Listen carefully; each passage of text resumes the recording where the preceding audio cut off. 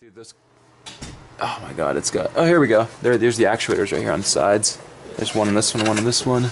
Dude, you could to get the wing up, you could just put power to those Yeah, and mm-hmm. override it. yeah.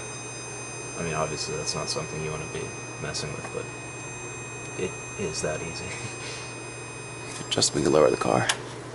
you can. It's pretty sweet. You got another, about an inch and a half of travel.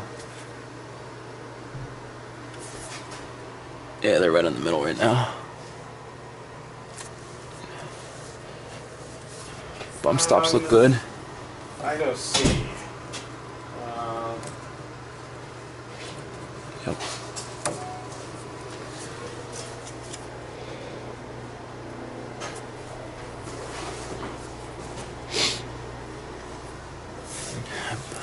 Ton of O2s in there.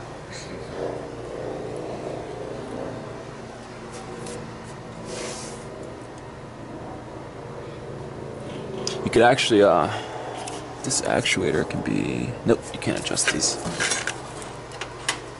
You can hold them open though. you hear them?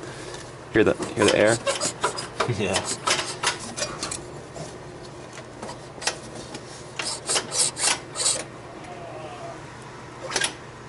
They're very. The spring is very. It doesn't take very much pressure to open them up.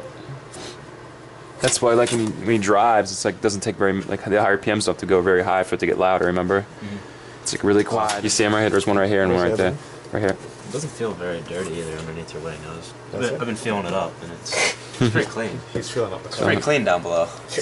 Well, that's good. Yeah, I don't need a very big piece. thick. That works.